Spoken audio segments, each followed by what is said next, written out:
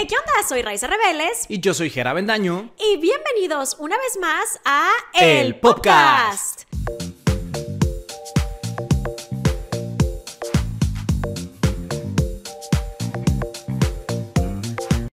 Tenemos un episodio muy interesante, un episodio que creo que les va a gustar mucho porque Sí. ha habido mucha expectativa detrás de este contenido y es hablarles un poco sobre nuestra experiencia en la, La Casa del Conjuro. Excelente, ya ni siquiera tenemos que contar, ya estamos perfectamente bien coordinados. No platicamos esto y nos salió a la primera vez. Así es.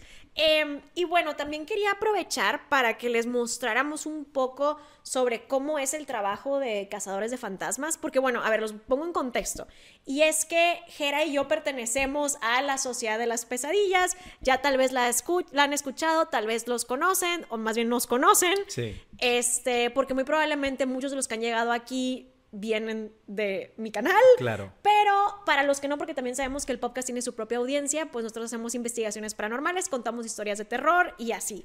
¿Qué, qué extraño que llevamos como ya poco más de dos años tal vez haciendo esto. Ajá. Y nunca habíamos mencionado eso. O sea, sabes, tal vez hay gente dentro de nuestro público que no saben que somos parte de la Sociedad de las Pesadillas y que hacemos investigaciones paranormales. Sí, eh, Va a ser de que plot twist para ¿De ellos, de que qué? ahora no se quieran inventar ahora que son unos investigadores. No, esto es legit, desde hace años sí, lo hacemos. Ya tenemos rato en la Y nunca lo habíamos mencionado aquí.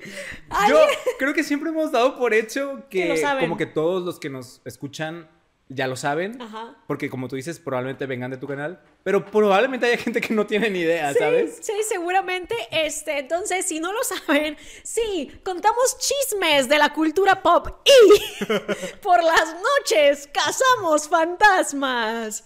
Entonces, eso hacemos. Nunca habíamos dedicado un episodio justo a todo el tema de cazar fantasmas y así. También yo preparé algo de información extra para contarle a Jera y a ustedes sobre la historia de todo esto de cazar fantasmas. Oh, realmente dijo, voy a investigar esto y voy a dejar a Jera como un estúpido que no sabe del tema porque no le avisé que No, vamos no, a hablar no. de eso. Se quiso lucir. No, pero Se es que, quiso ¿sabes? lucir. A mí me gustó mucho la dinámica que hicimos en el video de Gypsy Rose, cuando por ejemplo tú tenías una parte de la información Ah, que yo claro, no claro. tenía Sí. Y yo tenía una parte de la información que tú no tenías, porque sí se forma una conversación interesante, ¿sabes? Y nos íbamos complementando como Ajá. la, sí, la- la conversación.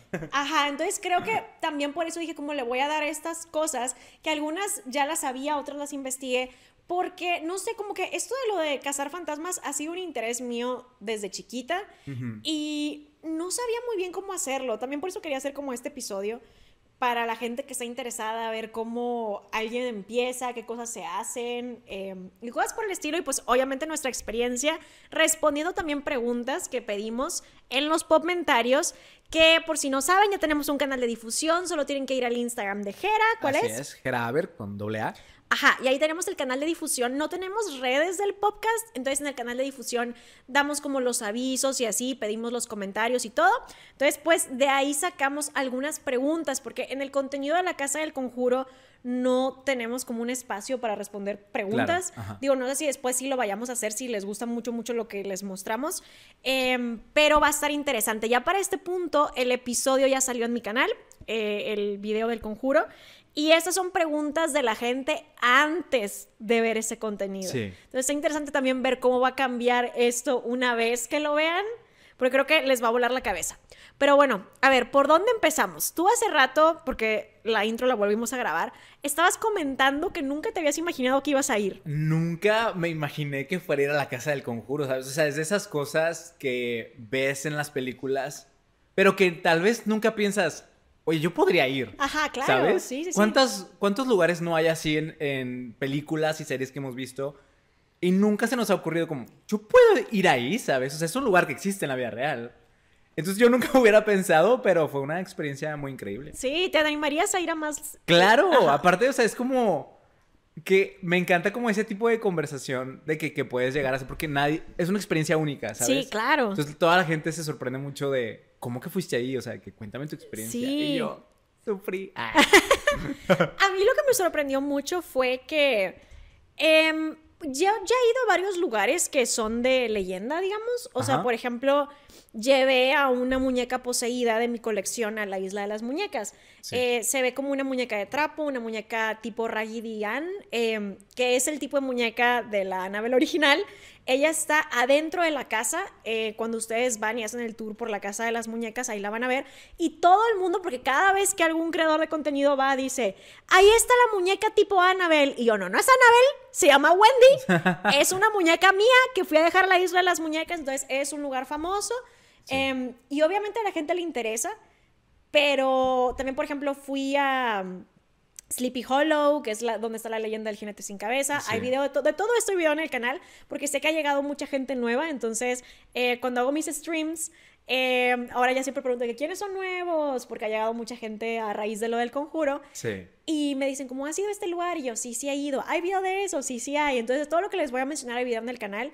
Fui a Salem, que eso cambió mi vida para siempre, porque a partir de ahí empecé mi camino mágico. A mí me gustaría mucho ir a ¿Y- Salem. ¿Quieres ir a Salem? A Salem sí me llama mucho la atención. Pues vamos. Sí. Vamos. Vamos, está bien padre. A mí me gustó mucho, cambió mucho mi vida y me gustaría volver ahora, ya que ya practico todo esto, Ok, ¿sabes? sí. Este, hemos ido a un lugar a donde quiero llevar a Jera, pero no le mueve nada porque no ha visto nada de cultura pop de este lugar y es Nueva Orleans, porque cuando yo fui estaba todo cerrado por pandemia. Ok, sí. Entonces yo fui a investigar todo esto, el tema del vudú. De hecho, tengo una muñeca vudú, ¿no sabías? Es una muñeca vudú real. Según yo sí, sí, la, sí, pues la he visto, ¿no? Ajá, la tengo un adorno allá atrás en mi estudio. Sí. Es morada. Sí, sí, sí. Ajá, y tiene un pedazo de mi pelo. Ah, sí Lo no tiene sabía. amarrado en el centro. Ah, qué bueno que me avisas. Cuando, cuando te portes mal, voy a llegar con... Así no funciona el vudú. ¡Ah, rayos! O sea, las películas me vendieron otra sí, cosa. ajá, de hecho en mi video hago un análisis sobre cómo es el vudú. Obviamente yo no practico vudú ni vengo de familia Ah, que lo practique, entonces no lo super sé, pero sí me puse a investigar y, y realmente funciona diferente. Es más que nada como haces un o utilizas un muñeco vudú para una petición tuya, ¿sabes? Es tuyo para Oh. obtener un beneficio para ti, Tú, no tanto de atacar al otro. Ajá, lo otro sí fue más que nada por las películas y así. ah, ok. Pero también en Nueva Orleans eh, hay una cultura de vampiros muy fuerte y leyendas de vampiros muy interesantes que yo me quedé como, ¿será que sí había vampiros? Bueno, y ahorita hay gente que practica vampirismo actual, ¿sabes? Sí. Ahí es donde si, si me vieron tal vez en el podcast de Marta y Gareda, Jordi Rosado, de todo un poco, platiqué un poquito de la leyenda de lo de la tumba de Nicolas Cage y así. Nueva Orleans... em, digamos, te lo venden, te lo marketean como la ciudad más embrujada de Estados Unidos. Sí. Por eso es que también muchas, eh, muchas temporadas de American Horror Story se filman ahí. Y pues bueno, he ido a muchos lugares así, ¿no? Ento- que son de leyenda, digamos, que a mucha gente, que son famosos.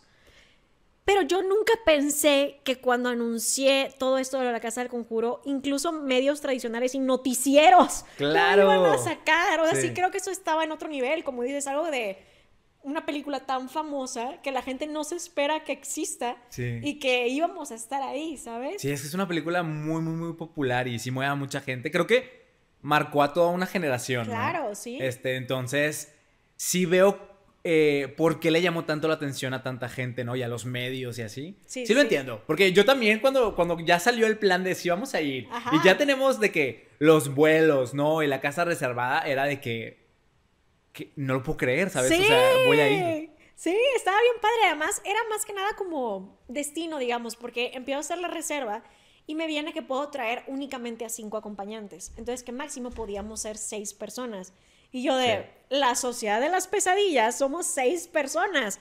Entonces, incluso antes de invitarlos, en la, en como la hojita de esto es lo que voy a hacer, este es mi canal, este es el plan, estas son las personas que llevaría, ya estaban sus nombres. Ya estábamos sin, Ajá. sin siquiera saberlo. Eh, sí, estaban ya manifestados ahí. Yo lo puse como que es un hecho que van a ir. Al final de día todos Sí, fueron. todos fuimos. Y fue una gran experiencia. Entonces, ahora ya no te puedes escapar. Tienes que estar viniendo a las investigaciones. Ah, claro. Sí, es un buen rush de adrenalina. Sí, claro, yo estoy puesto para ir a todas las investigaciones. Perfecto. Pues bueno, ahora te voy a contar un poquito sobre todo lo del A tema ver, de la lo de. historia Sí, del. de, de la investigación paranormal. Ajá. Y ahorita pasamos de que a preguntas, vamos pasando como. Sí. Bueno, para empezar, aquí tengo algunas notas para que no se me olvide nada. Eh, no me voy a poner aquí en modo clase de historia para no aburrirlos, pero este tema de lo de cazar fantasmas existe. es que a mí me gusta mucho la historia. Sí, no, a mí me gusta. Y me gusta cómo cuentas las historias. Ay, Entonces, muchas gracias. está- va a estar entretenido esto. A ver, cuéntanos sobre la historia. A ver, bueno, esto de lo de cazar fantasmas existe desde que te pueda, de tan atrás como te puedas imaginar. Realmente creo que como humanos siempre hemos estado interesados en el aspecto también de la muerte. Sí. Porque es un, ¿qué hay después? ¿Hay algo después? ¿No hay nada después? ¿Podemos continuar existiendo? Creo que de ahí viene un poco como el miedo a dejar de existir, ¿sabes? Em, creo que, eso también lleva a mucha gente a, sentir que tiene que tener hijos, porque es lo que muchas personas piensan mm. que es su manera de seguir existiendo. De dejar un legado. Exacto, ajá. O sea, creo que como humanos tenemos eso, de es que no queremos que nuestra existencia sea insignificante. Y también como cuando alguien, un ser querido muere, como querer también encontrarle el sentido de que de alguna manera sigue estando por ahí, ¿sabes? O sea, que no se acabó por completo así como su existencia, ¿no? Claro, sí, totalmente, es cierto. Y a lo largo del tiempo se han contado en todas las culturas del mundo diferentes historias de fantasmas, monstruos, eh, gente que son muertos vivientes, etc. Pero de hecho, tú estuviste ahí en una investigación paranormal en Corea. Era lo que iba a decir. Ah, sí. ¿Y qué nos dijo el guía? El que era un señor que se, no sé cómo llamarle en español, pero se dedicaba a, a recopilar el folclore local. No sé cómo llamarle en español, ¿cómo se llamaría eso? Porque no nos, o sea, dijo que era de que se dedicaba a eso, a recopilar el folclore. Sí, las leyendas y mitos de la ciudad. Ajá, es una ocupación que yo no sabía que existía. Y él justo va a los lugares y, e investiga sobre cultura local y folclore local para darse una idea de la sociedad. Y él dijo algo muy interesante, ¿no? ¿Te acuerdas? Sí, pues justamente mencionó que el escuchar las leyendas y los mitos de diferentes ciudades nos hacen, darnos, nos hacen darnos cuenta de los similares que somos. Porque puedes notar cómo, ah, oye, una leyenda de Corea es muy similar a una que tenemos aquí en México. Claro. Y una leyenda de aquí de México es muy similar a una que tienes, no sé, en Francia, ¿sabes? o sea, por ejemplo.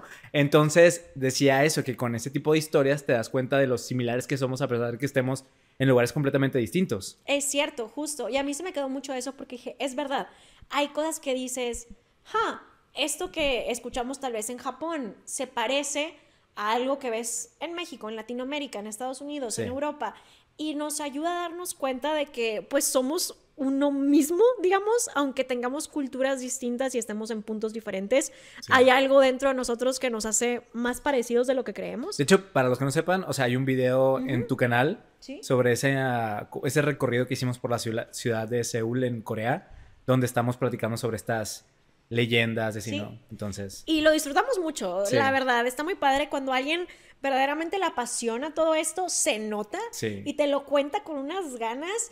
Y además me encantaba esto de que si a alguien le pasa algo, si regresa y empieza a tener eh, cosas paranormales en su casa, escríbanos porque queremos saber. Y así estaba muy cool, eso me, gustó mucho.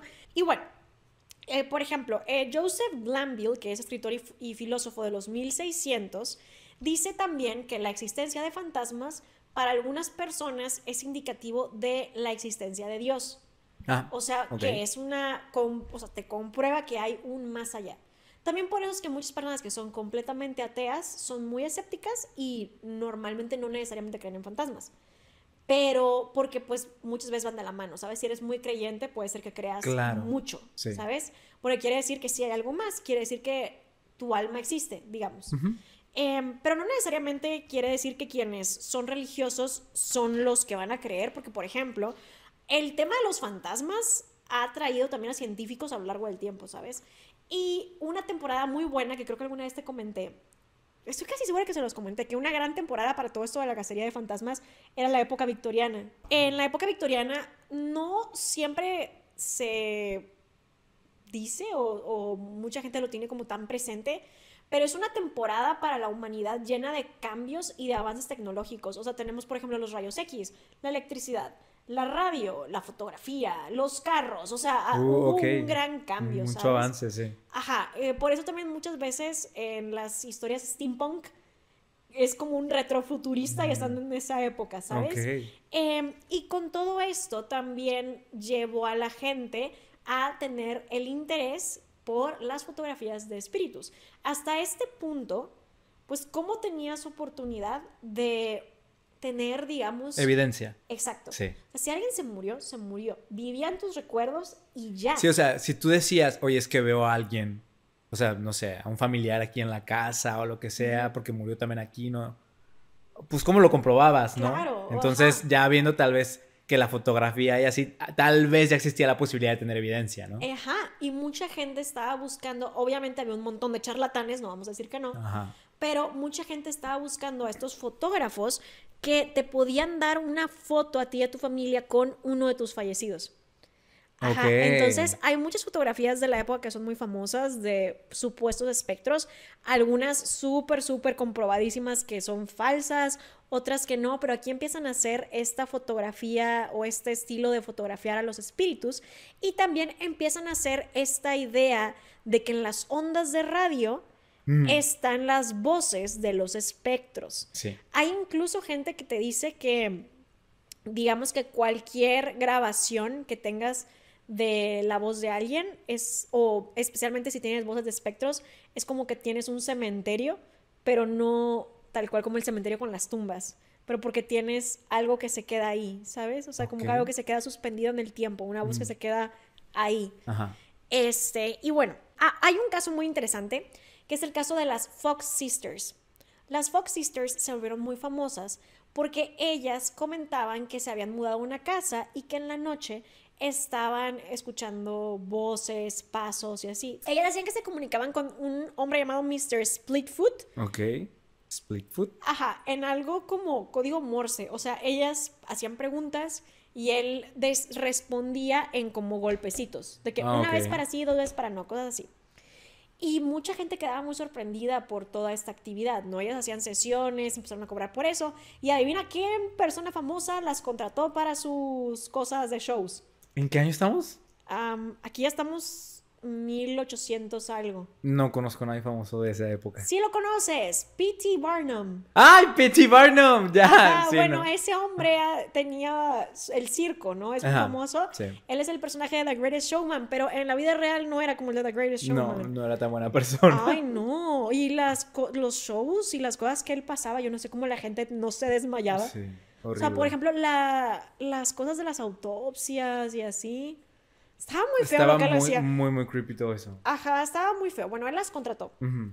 tenía una, es- una cosa que se llamaba el Museo Americano, creo, porque creo que no era para el circo, creo que era para esto del Museo Americano. Y ellas empezaron a hacer sus sesiones espiritistas y obviamente la gente estaba como, esto está raro. Así que llegaron los escépticos y los científicos a Ok. investigar y resulta que era una completa farsa. Una de las hermanas publicó un libro explicando cómo es que lo hacía y ellas lo que estaban haciendo era como tronarse los dedos de los pies muy fuerte. O sea, cuando decían de que un golpe, tas, lo hacían Ah, con... Lo que escuchaba era el dedo. Ajá, los dedos de los ¿Tronando? pies tronando, ajá. Los, yo creo que tronaban muy fuerte. Ajá, y las hermanas murieron en extrema pobreza. Porque pues fueron ya muy rechazadas. Pues por claro, es que era un fraude. Bueno, pero eso también se abrió a que lo- la comunidad científica estuviera verdaderamente interesada a todo esto. Se creía que las ondas de radio pasaban tanto por el plano físico como por el plano etéreo, digamos. Oh, ok. Ajá, y que justo ahí es donde se podían llegar a captar las voces del más allá. Ajá, y Uh. hasta la fecha esto se conserva, ¿sabes? Por eso es que mucha gente cree que a través de ondas de radio, a través de cosas como la Spirit Box, ahorita les vamos a mostrar, em, que ya la hemos usado en el canal, la han visto varias veces, Sí. se pueden captar señales del más allá, porque se cree que las voces de los espectros están en este otro, Otro nivel, plano acá. Ajá, que alcanzan las ondas de radio. Ok. Ajá. También por esto muchos, muchas personas que se dedicaban, estaban como del ámbito científico, Ujú. eh, empezaron a investigar esto porque querían ver si sí había una manera de combinar tecnologías para hacer contacto con el otro lado. Ok. Si sí había o qué pasa, porque también acuérdate que mucha gente opina que como que estamos, que todo está ocurriendo al mismo tiempo. Sí, yo nunca. O sea, lo, lo sé. Ajá. No entiendo cómo funciona. Porque creo que ese es el punto, ¿no? Nuestro cerebro no nos da para comprender cómo es que todo está pasando al mismo tiempo. Ajá. Pero sí, lo, sí he escuchado esa teoría. Ajá. Ajá. Entonces, em, pues mucha gente cree que justo a través de estas ondas puedes captar algo que tal vez está ahí, Mm. pero no lo puedes captar porque tú estás en tu plano. Estás en otro tiempo para, para ti. Ajá. O, bueno, de gente que murió ahí, quedó el eco ahí, o gente que murió y todavía está ahí rondando. Ok. Ajá. Ahora, se creó esto que le llaman em, investigación psíquica, que espero estarlo traduciendo bien porque investigué por todos lados y esta es la traducción más fiel a la palabra en inglés que encontré. Y una de las personas más conocidas, que este está muy interesante este caso, es William James. Él fundó la Sociedad de las Pesadillas. Ah. El- no, ¿Y yo qué? ¿Nos fundó? Ah, no, él fundó en 1884 la Sociedad de Investigación Psíquica. Ok. Este hombre tenía interés especial en la telepatía porque hay un caso muy interesante que tal vez lo hayan escuchado si son eh, aficionados a todo lo del terror o aficionados a temas, digamos, extraños, como temas de curiosidades y así, que es el caso de Leonora Piper. Esta era una mujer de Boston que aseguraba que tenía la habilidad de contactar con muertos. Ella entraba en una especie de trance, digamos que era una medium, y escribía lo que los muertos le decían, las voces que ella escuchaba de los- del más allá. Sí. William James, que, que les digo que es el presidente de la Sociedad de las Pesadillas, de la Sociedad de Investigación Psíquica, eh, él va con ella porque él se dedicaba a investigar gente y todos resultaban ser charlatanes. Hasta por, de su perspectiva, ¿verdad? Yo no digo que todos los que dicen a tener esta habilidad esos son charlatanes, yo no estoy diciendo esto, pero en el caso de él y en su investigación no había encontrado a nadie que fuera genuino. Va con ella y ella le dice cosas muy específicas de su vida. A ver, estamos hablando en un tiempo donde no hay internet, ¿ok? Entonces, ¿cómo es que sabía todo esto? Él quedó muy impresionado, así que siguió haciendo experimentos con ella y nunca pudo comprobar que lo que ella dijera fuera falso. Eso está muy interesante. Entonces, este también a la pobre la agarró un colega de él de apellido Hall y básicamente la torturó. O sea, lo que hacía era que mientras ella estaba en trance para poder hablar con los muertos, la llegó a quemar, a ¿Qué? electrocutar, amarrar, ponerle cosas feas en la boca y así, intentando romper su trance y demostrar que ella era falsa. Pero a través de todas esas torturas y pruebas, nadie logró decir que era falsa. ¿Qué? ¿Pero por Ella- qué la sometió a eso? Tipo, si ya había probado... o sea, no había manera de, de como desacreditar lo que ella estaba diciendo. Exacto. Porque luego la puso en esas situaciones súper extremas. Porque no lo creían, o sea, decían de que no, sí está fingiendo, tenemos que llevarla al extremo para demostrar que sí está fingiendo. Sin embargo, ella pasó absolutamente todas las pruebas, así que probablemente era una persona que tenía una habilidad extra. Y bueno, así, nadie sabe hasta la fecha cómo ella lo logró esto, ¿ok? O sea, porque hay mucha gente que hoy en día se dedica a tratar de investigar las técnicas que utilizaban los charlatanes en sesiones espiritistas en la época victoriana. Eso es un interés de mucha gente, de decirte cómo fakeaban las fotografías antes, cómo pues fingían las sesiones y así, pero ese tipo de cosas nunca hasta la fecha no se ha podido desmentir cómo es que ella lograba tener toda esta información, porque una de las pruebas también que le ponían era que le daban un mechón de las personas, ella lo tenía que tocar y decirte información de esta persona sin siquiera verla ni conocerla y a todos latinó. Y bueno, hay el padre, digamos, de el- la cacería de fantasmas moderna, se llama Harry Price y es un cazador de fantasmas inglés. Esto ya viene siendo en los 1900 y él lo que más hacía era justamente descubrir estafadores, descubrir cosas que a lo mejor había gente que sí pensaba genuinamente que alguna casa estaba embrujada, pero decirte de que, bueno, voy a hacer mi investigación, no, no está embrujada, esta es la explicación y así. Pero él tiene un caso muy interesante, que tal vez si le va muy bien a la investigación de la casa del conjuro y logro recuperar mi inversión, nos aventamos a este lugar a, a investigar. Ok. Y es que hay un lugar en Inglaterra que es conocido como la casa más embrujada de Inglaterra. Y se llama Borley Rectory. Y dicen que está embrujada por una monja malvada. Ese monja. fue el caso que a él lo volvió más famoso y el único que no pudo desmentir, a pesar de que él constantemente decía que recibía muchas quejas de gente que se enojaba porque él desmentía casos. Dice, es que a la gente le encanta que el caso sea raro, no les gusta que les digas que no es cierto. Yo difiero, creo que hay mucha gente que disfruta ver que tú descubras cosas. Yo no siento que a la gente le gusta estar engañada. Yo sí siento Sí. que la gente disfruta que digas esto es falso, esto no es real y así. Pero él decía que en su caso no, que mucha gente se molestaba. Pero el único caso que él tuvo que aceptar que ahí hay algo raro y escribió un libro al respecto es de esta casa en Inglaterra, que tiene el título de la casa más embrujada de Inglaterra. Y obviamente a partir de ahí ya tenemos otros casos como los Warren, que también tuvieron su serie de controversias. Y bueno, hasta hoy en día, en donde tenemos a las personas como yo. La sociedad de las pesadillas. Así es. Y bueno, a ver, vamos a ver de la casa del conjuro. Vamos a ver, ok. Ok, a ver, ¿por dónde empezamos?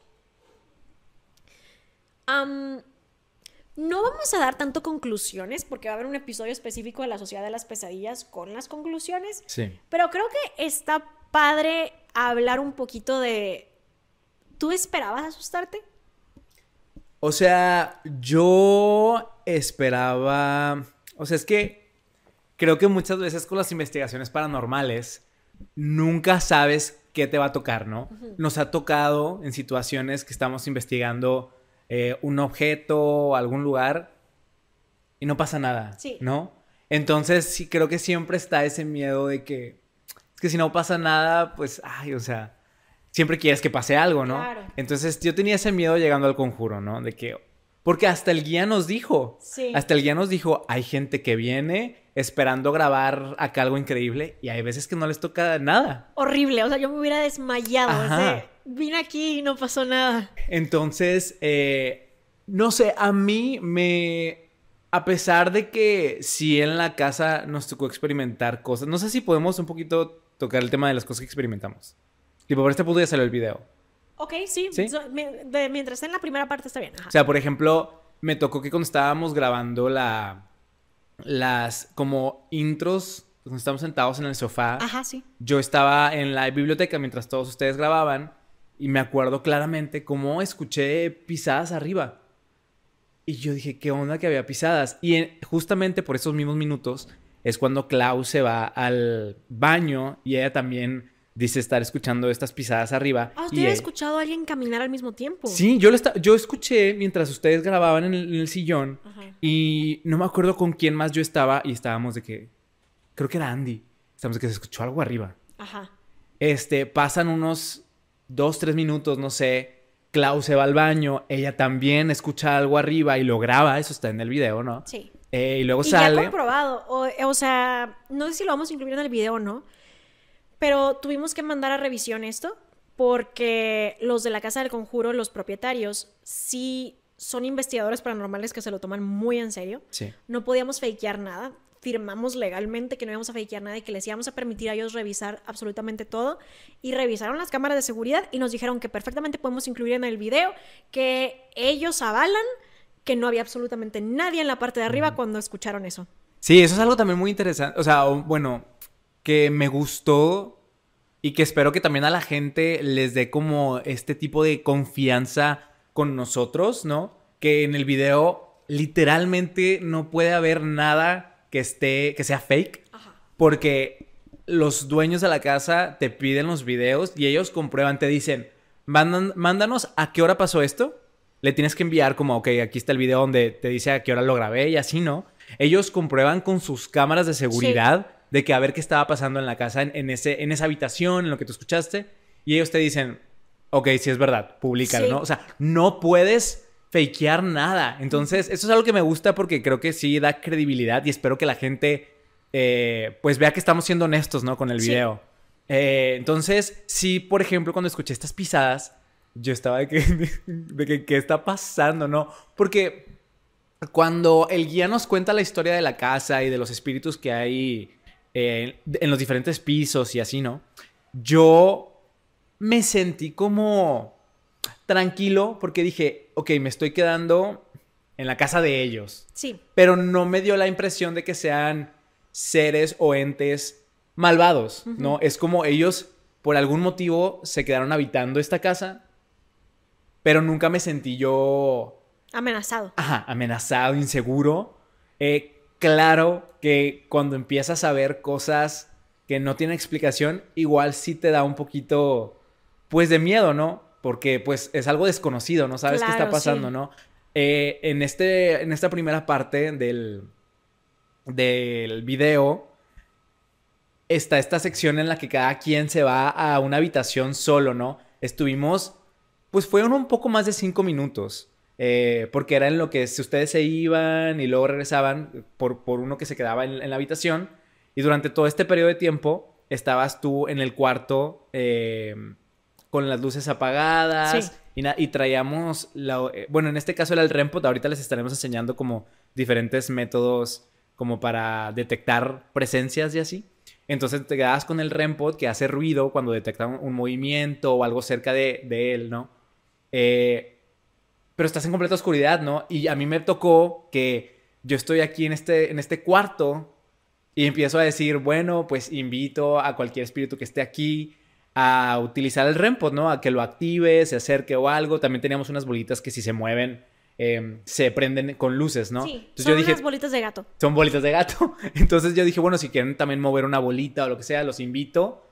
Eh, lo dije en español, lo dije en inglés, porque pues bueno, como estábamos en Estados Unidos, Qué bueno que lo dices, porque yo le decía a Renata, siento que hay gente que se va a confundir de por qué estamos hablando en inglés. claro, sí, no. Ajá. Es que de- decíamos, no sabemos si sería correcto hablarle a los espíritus como en inglés, ¿no? Que es el idioma que ellos conocen. Sí, es que justo no sabes. Creo que se entiende la intención. Porque Sí. cuando decíamos hola, de repente había reacción. Sí. Pero pues uno nunca sabe. Ahora, cuando vayamos con espíritus, no sé, otra vez japoneses, porque ya fuimos, no vamos a saber qué hacer. O sea, digo, sé japonés, Arigato. pero muy básico. Arigato o sea, que sumimasen, arigato. Em, pero bueno, en este caso dijimos de que, ay, pues ellos hablan inglés, yo creo. Ajá. Tratamos de hablar en su idioma para ver si de alguna manera había un poco más de interacción, ¿no? Sí. Y justamente digo en español y en inglés que los invito a que toquen alguno de estos métodos de comunicación y se activa en ese momento. Entonces, pues obviamente que te asustas porque es algo desconocido, no sabes qué está pasando. Eh, solo en la oscuridad, ¿no? Entonces, sí hubo momentos en los que me llegué a sentir con miedo, no amenazado como tú dijiste ahorita, así, no me sentía inseguro, pero sí era como, es que no sé qué está pasando, o sea, qué miedo. Sí. Porque a veces dices, pues no le encuentro una explicación a esto, ¿no? Em, entonces sí me dio miedo eso. También hay otras cosas que pasaron que tal vez ya pasen en otras partes, o sea, porque el video va a estar dividido como en dos partes, ¿no? Sí. Entonces tal vez pase en la siguiente parte y pues no quiero spoilear eso. Entonces pues me lo voy a reservar. Pues mira, yo me gusta que hayas tocado el tema de lo de sentirte como perseguido o amenazado, Ujú. Porque yo fui a otra investigación paranormal que hice en el Penhurst Asylum. El Penhurst Asylum es considerado uno de los lugares más embrujados en el mundo. Es un hospital psiquiátrico al cual te pienso llevar, porque me faltó... Psiquiátrico y te voy a dejar ahí encerrado. Ah. Es que, dude, la vez pasada me faltó entrar a la morgue.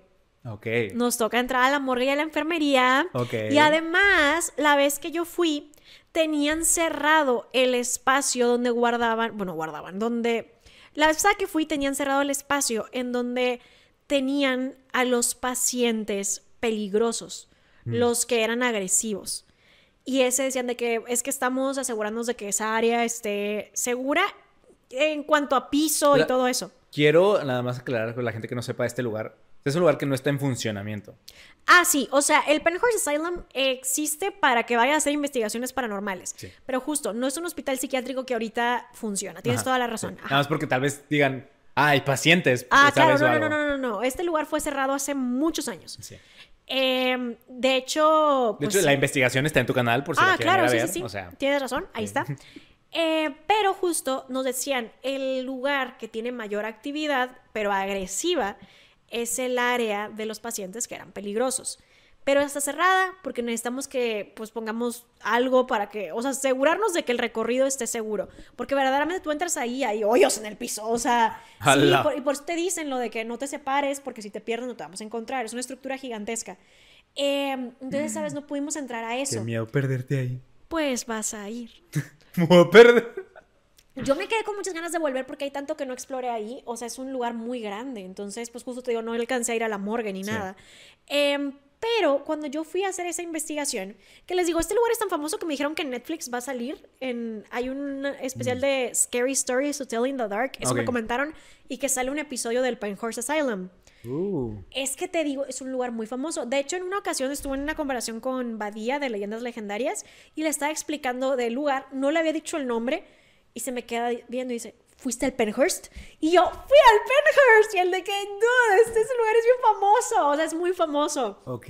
Y ahí toda la vibra desde que entras es como de que algo te está acechando. Es una ahí sí te sientes amenazado, Ajá. perseguido, ahí sí sientes que algo te quiere como, no sé, o hacer sea, daño. Sí, te sientes muy amenazado, muy raro. O sea, si sientes como que algo va con mala intención.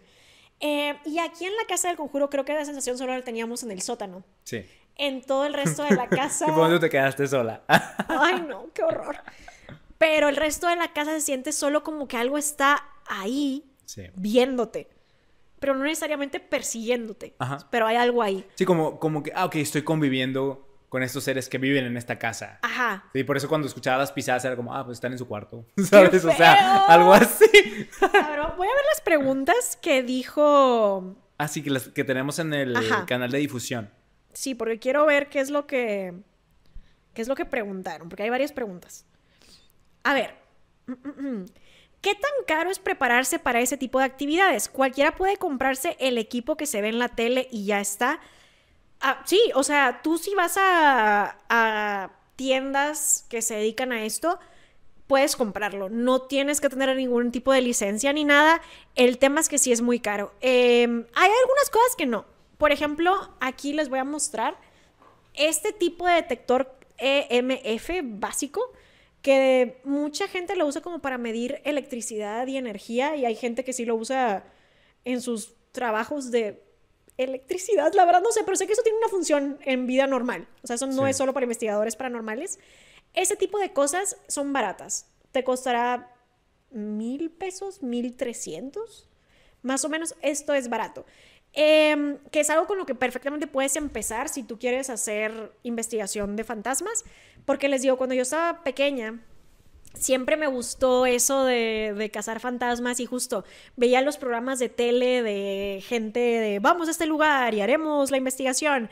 Y yo no sabía muy bien pues cómo empezar.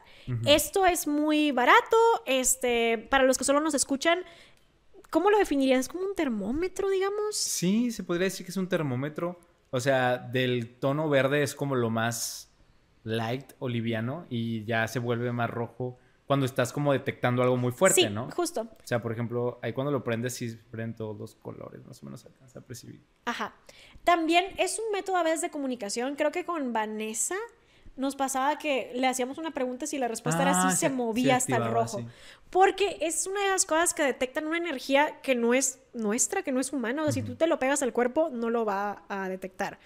Hay otra cosa que sale en el video del conjuro y déjame ver si lo tengo por aquí porque Neblina decidió adueñarse de eso. Esta es otra cosa que es barata, que son estas bolitas para gato. Las puedes conseguir en Amazon o en cualquier lugar donde las vendan. Em, la cosa detrás de las bolitas para gatos son transparentes y tienen adentro lucecitas. Entonces cuando los toca el gatito, se prenden. Entonces eso les llama la atención. A Neblina le gusta. Y esto también lo, lo descubrí en el Penhurst Asylum, en el hospital psiquiátrico embrujado del Penhurst, porque los como que cuidadores también estaban haciendo sus investigados, investigaciones paranormales y tenían una de estas. Ok. Y ahí me di cuenta que la gente hacía investigaciones con bolitas para gato. Pero Neblina dice que son de ella. Entonces, si se prende es porque la- algo las tocó. Y esto también es barato. Otra cosa que sería barata son estas cosas que te sirven también como comunicación, que son las varitas de adivinación, me parece que así se llaman en español, y son varitas de cobre, si quieres agarrarlas. Las, sí las has tenido antes. Sí, sí las he sostenido. y se mueven. Aquí muchas veces la gente lo utiliza para que si quieres recibir una respuesta de un sí o un no, las agarras y se van a mover. Estas las tienes que sostener de manera tan rígida que a veces a mí me duele un poquito el hombro y luego tengo que reacomodar el hombro y esperar a que se deje de mover por el movimiento que hice con mi hombro. Sí. Pero por lo regular se mueven solitas y no las tienes que apretar tanto. Hay veces que están moviendo solita. Sí, o sea, la, la mantienes como lo más estable que se pueda Ajá. y luego ya, pues no sé, te comunicas y dependiendo del movimiento que haga, pues el, el lente te está diciendo algo, ¿no? Ajá, entonces esas son cosas baratas. Y pues bueno, cosas como las linternas también son baratas. Pero ya el equipo que es más profesional, eso ya empieza a subir de precio. Por ejemplo, la Spirit Box ya es un poco más costosa. Esta la utilizamos mucho, que es... No la quiero prender ahorita porque se va a escuchar horrible, especialmente Sí, para los que ruido. usan... eh, para los que están escuchándonos por... eh, Por el por podcast. Spotify y- o sí, Apple- Apple, Podcast, Ajá. Em, pero es la típica grabadorcita que hace... Ajá. Y empiezan a escuchar voces. Esta ya es un poquito más costosa, pero pues es justo lo que les decimos de que mucha gente opina que a través de estas frecuencias puedes captar voces del más allá. Y bueno, ya de ahí ya nos vamos a las cámaras de eh, para ver en la oscuridad. Eso ya esto ya nocturna, está, esta es muy costosa. Eh, eso también ya es muy costoso, que viene siendo un IMF como el que les mostré ahorita, pero en versión, pues De lámpara. Sí, versión como una lámpara. Sí. Este ya es un poquito más costoso. Todo lo que ya llevamos a la, a la casa del conjuro ya es más costoso. El detector de movimiento y de calor, que es esto, el Rempo es carísimo. Y las luces que las tengo aquí, que las usamos también en el video, estas son muy caras también, porque todo esto está hecho a mano, a- sobre pedido. Son unas luces grandes, podríamos decir que es una hilera de luz como de Navidad, pero versión grande. Esas son de las más caras también.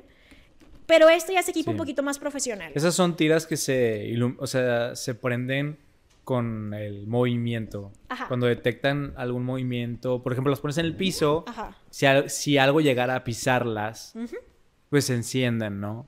Sí, sí, Este, sí. Y el REMPOD se activa con el movimiento. Es que no sé si lo, si lo explicamos. No sé, pero si quieres lo puedes volver a decir, ¿no? Ah, no, sí, nada más. De que, y el REMPOD pues se activa cuando algo lo toca o algo está muy cerca, prende luces y hace ruido, entonces... También, por ejemplo, tengo esto que casi no lo utilizamos porque es medio incómodo, pero ay, creo que no sabía que estaba prendido. Pero es un láser, digamos, que tal vez si han visto películas como Actividad Paranormal 3 o 4, ponen una especie de láser y se ve el movimiento de que algo pasa por encima de eso. Sí. Em, es para eso, también es un poquito más costoso. Entonces, sí es caro, pero hay algunas opciones que son baratas para empezar. Entonces, no crean que si quieren volverse investigadores paranormales desde el inicio tienen que de- desembolsar un montón. Em, ya esto es pues lo de tiempo completo, entonces pues ya, ya valía la pena que, que hiciera esta inversión, pero Sí, es para que, o sea, yo creo que si les interesa pueden ir haciendo como todo su equipo o armando su equipo poco a poco, ¿verdad? No Ajá. tienen que comprar todo así a la primera, ah, compro todo. Digo, a menos que sean ricos. pues, si son ¿verdad? millonarios, adelante, Y si son millonarios pueden unirse a la Sociedad de las Pesadillas. por supuesto. O pueden unirse a nuestro Patreon, ¿sabes? Para que nos apoyen. Así es, la Sociedad de las Pesadillas tiene Patreon. Y sabes que también, Jera, es hora de el anuncio comercial. Oh, ok. Y es que Clau, mi amiga Clau y yo, que Clau también está en la Sociedad de las Pesadillas, Sí. estamos teniendo un campamento de escritura. Si quieren unirse, vamos a ayudarles a iniciar su proyecto de novela. Eh, porque por si no saben, soy escritora, escribo cosas de fantasía oscura y terror. Oye, pues ¿qué no haces? ¿Verdad? No cocino eso. No, todo, no sé cocinar todavía y no sé manejar todavía. Eh, eso es cierto. Ajá, pero bueno, vamos a tener un campamento de escritura para aquellos que les gusta escribir. Se pueden inscribir en academialgatonegro.gmail.com. Ahí pueden pedir informes para que inicien su proyecto con nosotras. Va a estar muy divertido. El año pasado lo hicimos, a la gente le gustó mucho y fue muy divertido. Entonces, este año esperamos que se unan. Y ahí en academialgatonegro.gmail.com pueden pedir informes. Yo quiero contestar una pregunta que vi aquí. A ver. O sea, porque pu- pusieron, cuando durmieron en la casa, ¿qué soñaron? ¿Fueron sueños lúcidos? Y yo fui el único que durmió en la casa. Sí. Todos los demás se quedaron eh, despiertos, pero yo como para las cinco y media por ahí, yo ya no podía porque habíamos pues estado toda la noche despiertos, ¿no? Y así. Y Además, estabas enfermo. Y estaba enfermo, me enfermé, estábamos a una temperatura muy fría ya desde que llegamos a Nueva York, Sí. estábamos como en los menos 2, menos 3. Y luego menos 15. Creo que cuando yo llegué estábamos a menos 4 grados y yo no, no llegué muy preparado para el frío, no traía ni bufanda, ni nada que me protegiera como toda el área así, pues toda esa área, ¿no? Entonces, eh, luego, luego cuando llegamos y sentí que el aire me pegó así en la cara, y luego, luego esa noche ya me, me enfermé, ¿verdad? Este, entonces, si yo me sentía mal, entonces también pues por eso creo que tal vez me quedé dormido. Y te tocaba manejar al día siguiente. Y me tocaba manejar al día siguiente. Entonces, sí, porque como ya todos los demás se quedaron despiertos, pues alguien tenía que manejar. Fui yo el que se pudo dormir. Pues me dormí como unas, tal vez entre dos, tres horas. Sí, era poquito. Este, pero... Pero dormiste yo completamente solo. estaba muy cansado y todos fue de que, oye, vamos a salir al bosque. Y yo dije, yo no, ya no puedo salir, o sea, ya me estoy muriendo, ustedes vayan. Y todos de que seguro, y yo, sí, ustedes vayan. Me quedo en la biblioteca porque cuando estábamos con el guía, él, él nos menciona que en la biblioteca había como este sillón que era muy cómodo y que mucha gente se dormía ahí. Entonces yo dije, pues va, me voy a dormir ahí. ¿No te animaste a dormirte en los cuartos de arriba? No, es que como que estar en la cama de porque sé que esas camas eran de los niños y así, ¿no? Ajá. Entonces como que eso sí me da, yo lo respeto, lo respeto, hay que respetar la casa ajena. Entonces dije, ay, que me quedaba bien el sillón, eh, pero todos están de que seguro, y yo sí, no hay problema, y se están preparando para salirse, ¿no?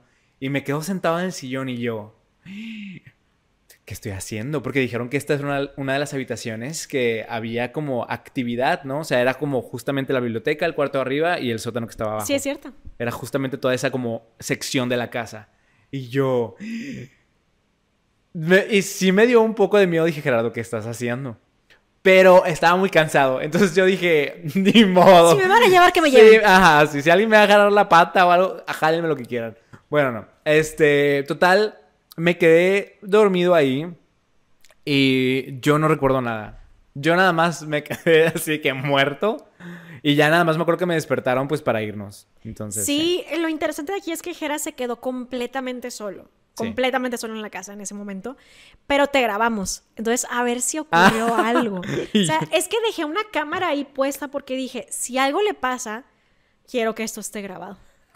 o sea, me grabaron todo el rato que yo me quedé ahí. Sí, esto, o sea, hay que una hora, un rollo así de grabación de ti.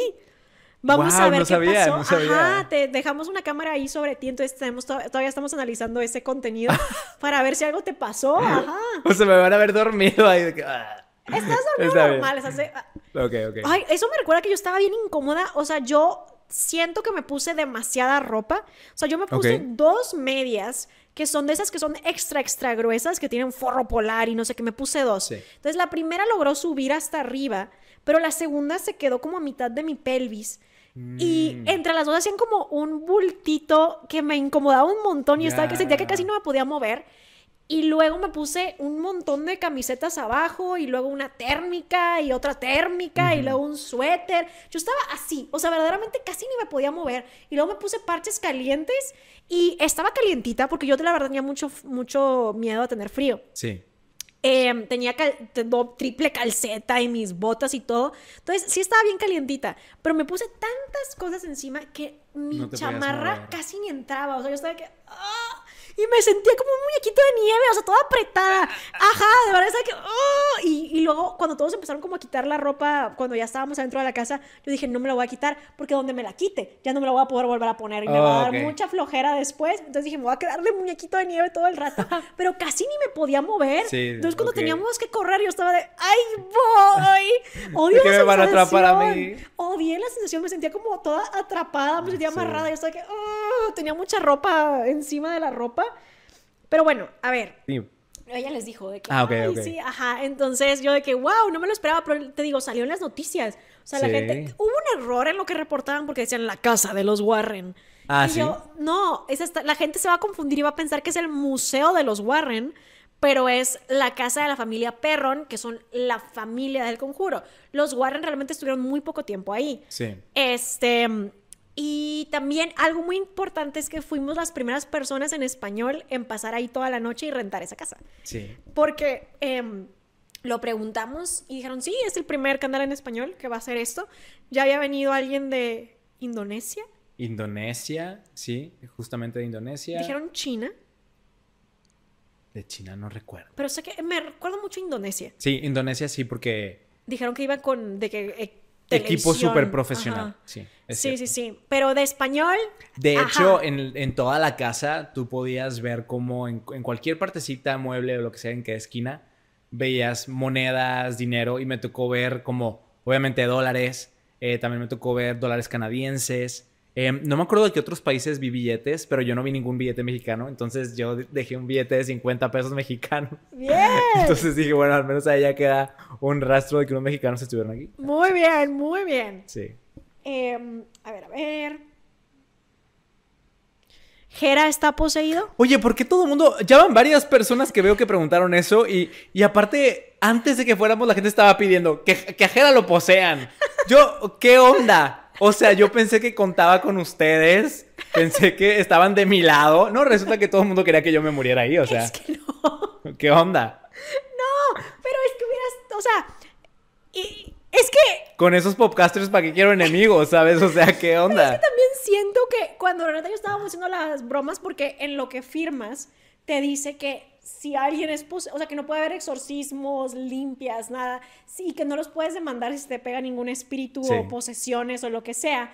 Y dijimos, en una de esas, Jera va a estar poseído, lo vamos a tener que sacar para exorcizarlo fuera de la casa. Y es de Jera, Ah, o sea, rápido". ustedes son las que plantearon las semillitas y ven todos ellos.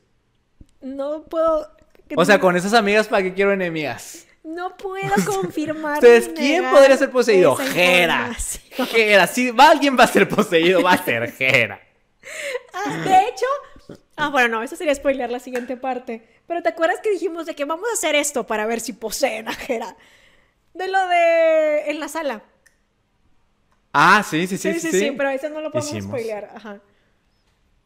Hasta nosotros ahí, poséame. Una vez que decidieron ir, ¿cómo se prepararon? ¿Tuvieron que realizar algún ritual o preparación extra aparte de los amuletos que Ray protegió? Pues más que nada eso, o sea, les di los amuletos de protección. Sí, Tú me trajiste las cosas del metal que te pedí y todo. sí, un anillo, un collar. Y ya, justamente el día que íbamos a llegar fue el primer día que me los puse. O sea, no quería usarlo hasta que fuera necesario. Entonces, el día que ya íbamos a ir a la casa del conjuro fue cuando los usé. Y, y de hecho, desde ese punto en adelante los uso muy seguido. O sea, ¡Ah, qué bien! porque digo, pues están, están prote- protegidos, entonces Sí. déjame lo uso. Sí, a cada uno le protegí algo diferente. Bueno, Pato no, porque él hace sus protecciones. Pero a Renny le protegí un anillo, a ti eso, a Andrea un arete, a Clau un collar y bueno, yo me llevé mis protecciones. Pero fuera de eso, mm, pues no, no, realmente no hicimos ninguna otra cosa. Sí, no. Mm, ¿Alguna vez los han intentado estafar en cuanto a este tema? Sí. Hay hubo un espejo que tú fuiste también, ajá. El espejo en la casa que estaba bien rara. ¿El espejo? ¿El, El que espejito, investigamos? ajá, el espejito. Ajá. Eso sentí que fue una mega estafa. Pues tal vez ese es uno de los videos donde no pasó nada. Ajá, y al final dije que yo eso lo catalogaba como fake, ese video. Ok, de hecho, o sea, curiosamente, no sé si esto lo sepan, pero está ese- esta investigación paranormal del espejo está en el canal de Raiza. Ajá. Pero pareciera que la casa que rentamos para investigar era la que estaba embrujada.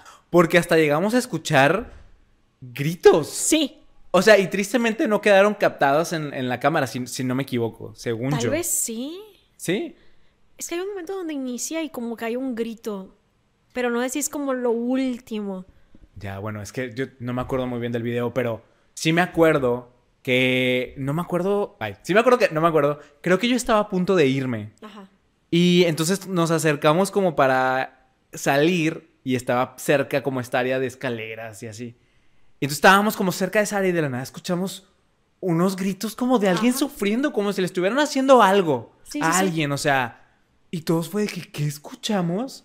Y la casa estaba muy rara. La casa estaba muy rara y tenían como esta habitación que tenía este, esta hoja que des- tenía como una tipo bendición de Dios Sí. o algo y que te decía que no entraras a esa habitación y nosotros que pues ¿qué pasó aquí? Sí. Hubo un punto donde yo dije, el grito que escuchamos es porque tienen a alguien encerrado ahí arriba.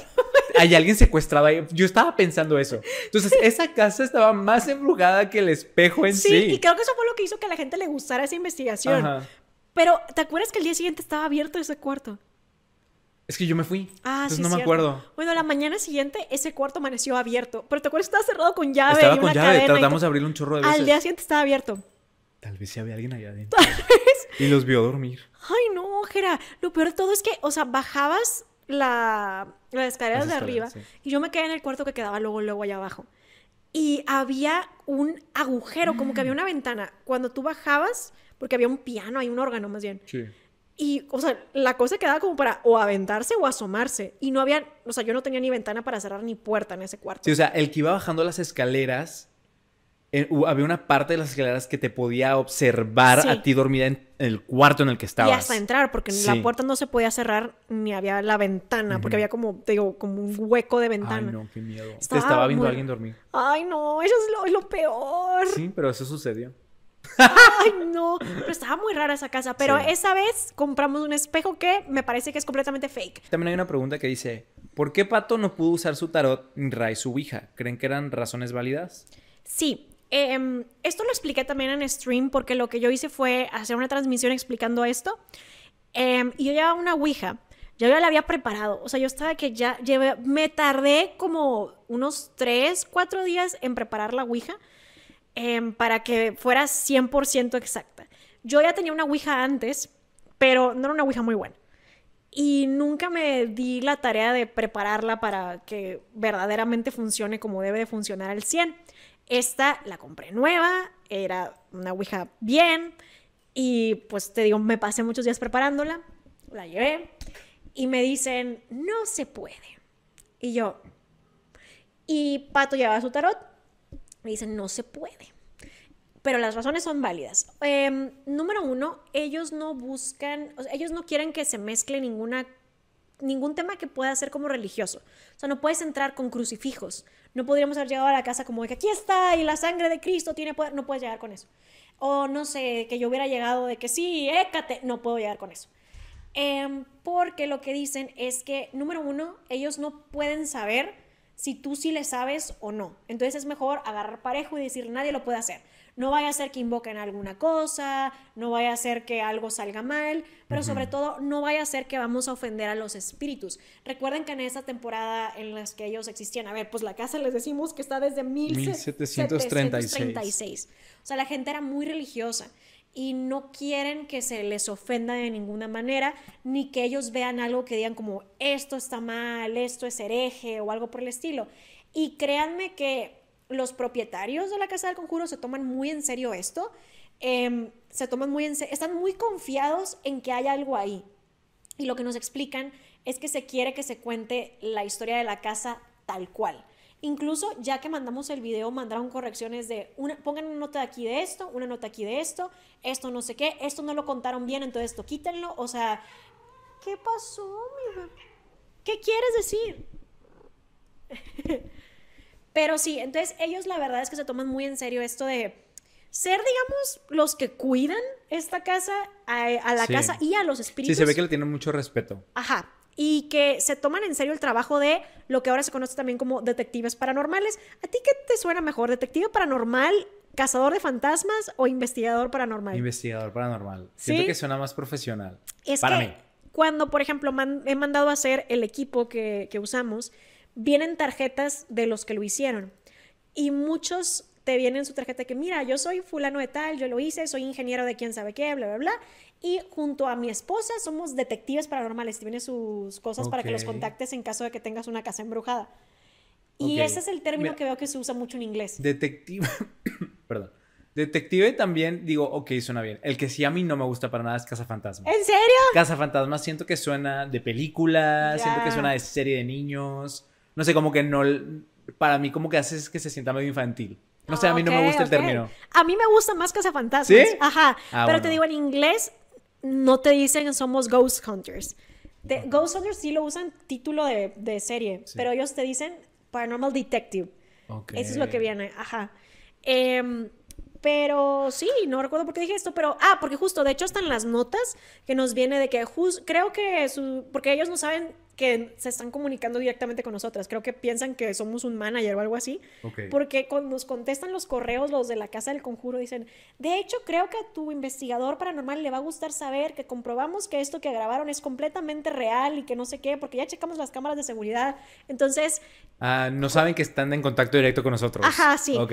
pero creo que justo se toma muy en serio lo de las investigaciones. Entonces, justo por eso es que no quieren hacer nada que ofenda a los espíritus o que vaya a ocasionar que estén enojados o que tú traigas cosas que no sepas cómo controlar.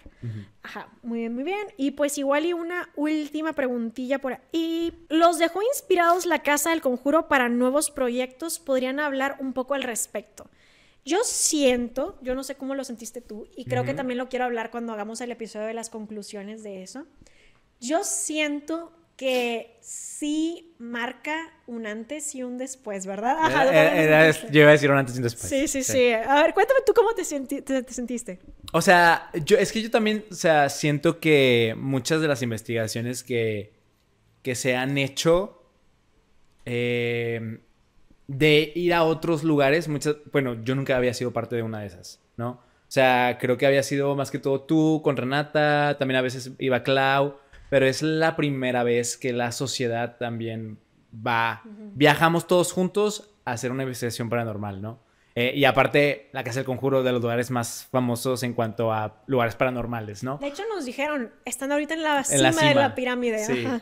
Entonces, eh, yo siento que como que eso nos impulsa a todos como grupo a seguir haciéndolo, o sea, porque creo que también a mucha gente le llamó la atención, bueno, apenas va a salir, el- bueno, es que ahorita cuando estamos grabando esto todavía no sale el video, ¿verdad? Ajá. Pero ustedes cuando vean esto ya salió, ¿no? Pero estoy hablando antes de, o sea, vimos como que hubo mucha respuesta y mucha atención, ¿no? A la gente le llamó mucho la atención y creo que eso nos motiva a seguir haciéndolo, pero aparte como equipo, como grupo, porque es, Sí. te digo, la primera vez que, que viajamos todos juntos, ¿no? Solos, ¿sabes? Solos. Nosotros Ajá, solos. Nosotros seis solos. Ajá. Entonces, eh, no sé, como que después de haber vivido eso, aparte el, el poder decir que estuve en la casa del conjuro, Sí. bueno, ahora quiero decirlo de otros lugares, ¿sabes? Sí. Entonces, sí, como que me motiva a seguir haciéndolo. Y además, eh, siento que este año, no lo siento, sé que este año es un año muy grande para la sociedad. Ah, se vienen, se vienen cositas. Hay algo que no les queremos spoilear, pero hay un proyecto muy importante en el que estamos trabajando los seis juntos, que cuando vimos el contrato para este proyecto, a mí me llenó de orgullo, ¿sabes? Sí. O sea, sentí de que pasamos de ser este grupo de amigos em, con unas sudaderas que combinaban y que nos sentamos en un patio a contar historias de miedo, a recibir este contrato y ver los nombres de los seis. Sí. Para mí fue de que, "Oh, ¡qué lejos hemos llegado! Y de aquí para arriba, o sea, yo, tenemos eso. Yo a final de mes tengo un viaje a una junta para otro proyecto para la Sociedad de las Pesadillas. Sí. Entonces, sí creo que es un antes y un después. Creo que gracias al apoyo de todos ustedes, la Sociedad de las Pesadillas ha ido creciendo muchísimo y esperamos que nos sigan apoyando porque le seguimos metiendo el corazón eh, a todo lo que hacemos. Y pues es el inicio de muchas cosas, la verdad. Qué bonito. Sí. Pero bueno, ¿te parece si dejamos el episodio por aquí? ¿Está bien por mí? Ajá. Y bueno, igual si quieren ver una parte 2, también la podemos hacer. Ahí nos dicen. ¿Hay algo que quieras agregar de tu experiencia? ¿Algo que quieras decir? No, pues yo creo que ya lo dije todo porque igual... Sí, creo que ya dije todo lo que está en mi mente y que aparte al- hasta lo que puedo llegar, ¿no? O sea, Ajá. porque hay otras cosas que todavía no salen. Entonces, ya tal vez cuando hagamos el video de la sociedad hablando de las conclusiones, ahí podrán ya ver todo y así. Pero bueno, yo ya quería hablar de eso también. Sí, sí, sí. Hablar un poquito, responder Sí, algunas porque preguntas. aparte yo me siento como que como todavía no sale el video ni nada de eso. eh, bueno, para ustedes ya salió, pero aquí mientras estamos grabando no ha salido, ¿no? Em, de que no le puedo hablar a nadie sobre este tema, ¿sabes? O sea, literalmente tengo familiares que me han hablado de que, oye, ¿cómo te fue? No sé qué. Y yo no te voy a decir. Te vas a esperar hasta el video. Ah, Entonces ya me gusta poder hablarlo. La expectativa está muy alta y el video quedó muy bien. Tú lo revisaste conmigo. Sí, ajá. la primera parte que vimos este, quedó muy bien. Como me emocionó película. mucho el inicio y cómo va desarrollándose todo. Me gustó mucho. Sí, entonces, pues ahí para que lo vean. Y por lo pronto, esto es todo lo que, lo que les traemos en esta ocasión. Pero, pues bueno, nos seguiremos viendo. Ahí nos dicen qué opinan del video. Y los vemos la próxima semana en otro episodio de El Podcast. Bye.